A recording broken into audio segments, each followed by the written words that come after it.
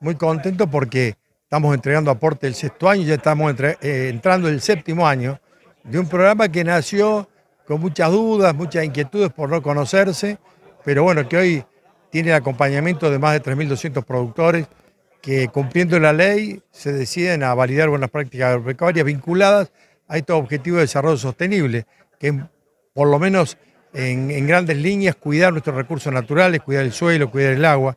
Hay prácticas que están vinculadas a las personas, al humano, y ahí nosotros premiamos mucho lo asociativo, la capacitación, la, responsabilidad social empresaria, después todo lo vinculado al suelo, al agua, como puede ser la rotación de cultivos, los nutrientes, este, y todo lo que tiene que ver con la prosperidad, como una columna central que tiene que ver con la incorporación de tecnología, sobre todo para mejorar la productividad. Este programa el año pasado fue premiado por Naciones Unidas, con lo cual le da también una jerarquía institucional enorme.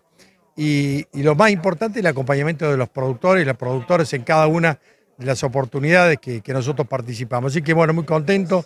Seguramente es un camino que trascienda a los gobiernos, tiene una ley que lo respalde, un consejo consultivo de más de 50 instituciones que lo legitiman y, me parece que es un camino que no tiene vuelta y nosotros nos pone muy contentos. Es un buen número de productores que ya se han adherido a este programa. ¿Qué es lo que falta por ahí de hacerle entender a esos productores que por ahí todavía no se animan? Bueno, eh, obviamente que es un contagio, ¿no? Eh, eh, nosotros tenemos ahí la posibilidad de, trabajar mucho en los estímulos y los incentivos, creemos mucho en eso.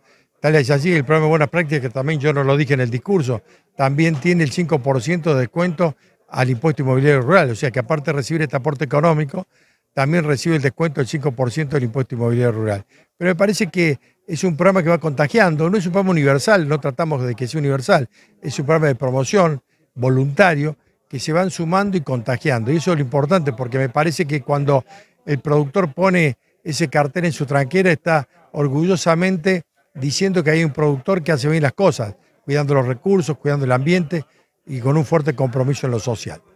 El ministro, usted manifestó que para abril, mayo puede haber mayores novedades.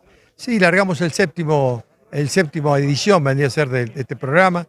Eh, ya hemos aprendido también los productores que lo podemos hacer más dinámico. Antes tardábamos prácticamente seis meses, ahora vamos a alargarlo, a lanzarlo en Expoagro y rápidamente el productor va a tener abierta la plataforma para poder validar y una vez que la valide nosotros le hacemos la devolución y después obviamente esa práctica que está convalidada puede ser cobrada, o sea que va a tener un pago mucho más rápido y eso me parece que es importante porque la dinámica también eh, va a cambiar, porque a veces nosotros ponemos un presupuesto importante, este año son 500 millones de pesos, pero cuando llegamos a noviembre o diciembre, esa plata no es la misma que en marzo. Entonces queremos que rápidamente el productor la pueda recibir si hace bien las cosas, si valida buenas prácticas y realmente se sube el programa.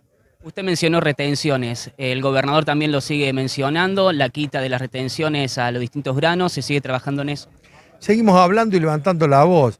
Eh, no somos demagogos, porque también cuando uno dice hay que eliminar las retenciones, no somos loquitos, sabemos que el país está en una situación de mucha inequidad, mucha desigualdad, pero el concepto hay que tratar de defenderlo. Es imposible convivir con un sistema tributario que penaliza la producción, porque no existe en ningún lugar del mundo. Nos quieren hacer creer que esto existe en algunos otros lugares. Cuando uno va a la región y tiene que competir, porque de último el productor compite en un mundo globalizado, eh, colocando sus alimentos.